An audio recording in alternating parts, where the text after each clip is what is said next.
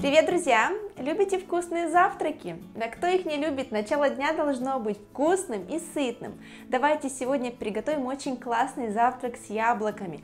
А именно пожарим на сковороде очень аппетитные оладушки с яблоком, изюмом и грецкими орехами. Получится очень вкусно, надеюсь, вам покажется это сочетание интересным. А еще польем все это аппетитным лимонным сиропом. Друзья, присоединяйтесь, подписывайтесь на мой канал, я делюсь с вами любимыми проверенными рецептами, впереди много интересного. Ингредиенты для оладушек. Мука, 2 яйца, соль, молоко, грецкие орехи, 2 яблока, сахар, корица, изюм и разрыхлитель теста. Перед тем, как приступить к готовке, убедитесь, что все ингредиенты комнатной температуры. Если не успели достать яйца заранее, просто прогрейте их под струей горячей воды, а молоко нагрейте на плите. Взбиваем яйца с сахаром, можно венчиком или миксером, превращаем их в воздушную массу.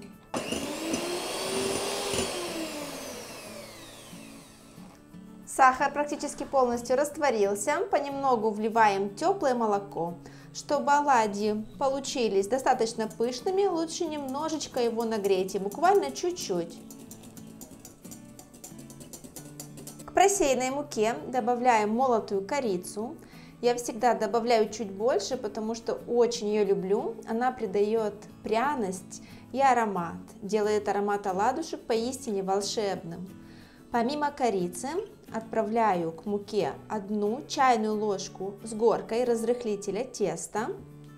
Хорошо все это перемешиваю венчиком. И не забудьте про щепотку соли. Соль усиливает вкус и аромат оладьев. Это очень важно.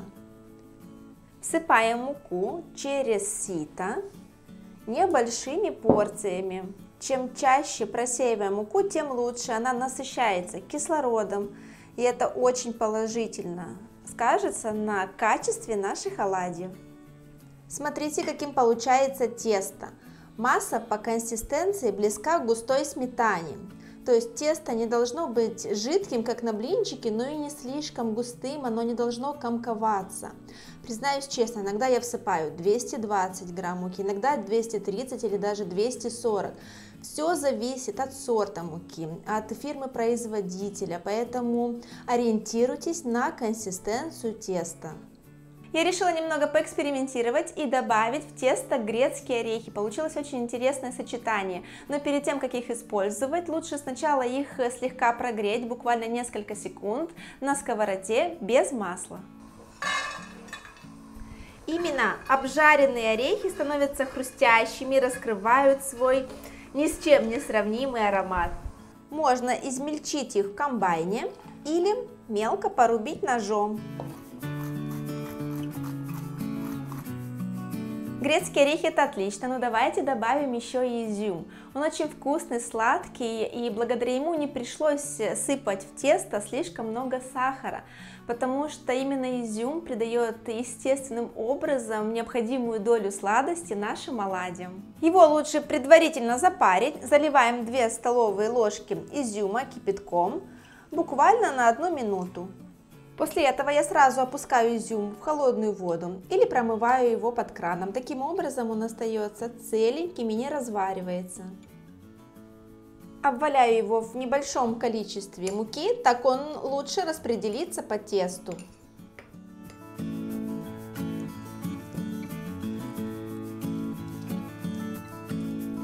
Все почти готово, осталось добавить только яблоки. Лучше взять яблочки с легкой кислинкой, и для контраста, сами посудите, кисло-сладкие яблочки, грецкие орехи, сладкий изюм и сладкое тесто, очень интересное сочетание. Чистим яблоки от кожуры и семян и нарезаем небольшими кубиками. Можно натереть их на крупной терке, но только не трите на мелкую терку, потому что они буквально растворятся в тесте, и вы не получите должного удовольствия от таких оладьев.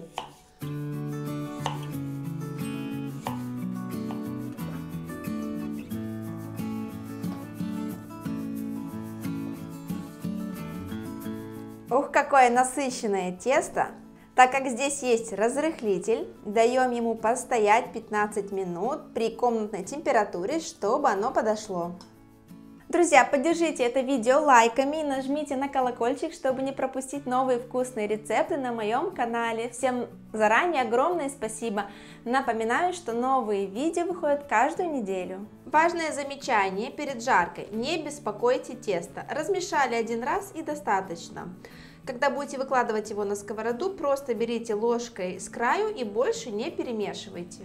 Это правило действительно работает. Я на практике заметила, что первые оладушки получаются намного пышнее, чем если постоянно перемешивать тесто перед тем, как выложить его на сковороду. Жарить нужно в большом количестве растительного масла до золотистого цвета с каждой стороны. Как только подрумянятся, переворачиваем.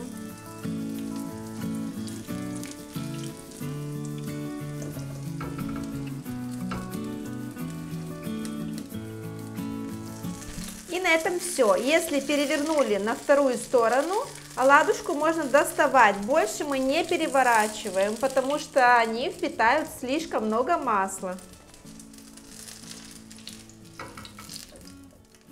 После того, как все оладушки пожарились, я складываю их в сковороду и накрываю крышкой буквально на 5-7 минут, потому что все-таки внутри они не доходят сразу после жарки. И лучше, чтобы они немного постояли. Я очень люблю вот такие крышки, через них выходит лишний пар, это не позволяет оладушкам отсыреть. Все, они в принципе готовы, уже дошли как снаружи, так и внутри.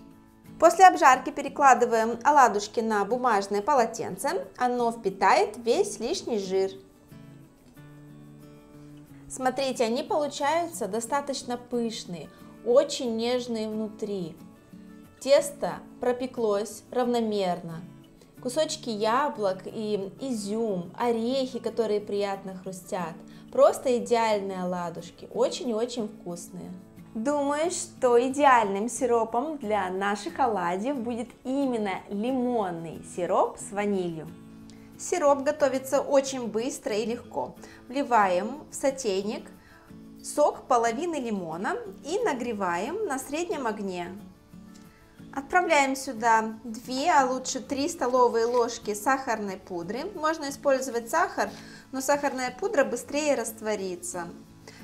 После этого все перемешиваем и еще немного нагреваем.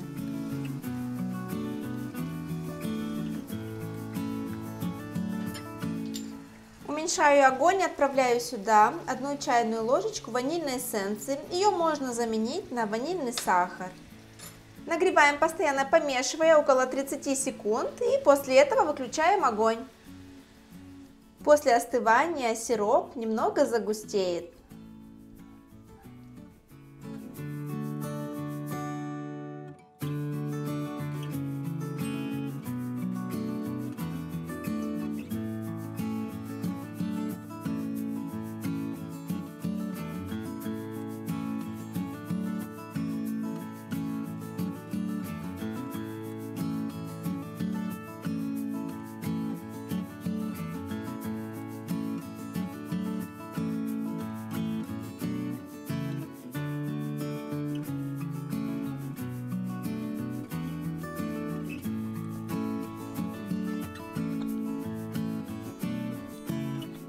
Какой же удачный этот лимонный сироп. Оладушки в сиропе просто замечательные. Сироп их дополняет, они такие вкусные, еще сочнее, чем есть на самом деле. Замечательный завтрак. Я очень рекомендую вам их попробовать. Приготовьте и оладушки, и сироп. Поделитесь впечатлениями в комментариях под видео. И желаю всем вкусных завтраков! Пусть ваш день начнется с этих замечательных оладьев. Они подарят вам море вкусовых впечатлений и положительных эмоций. Желаю всем добра и до очень скорого!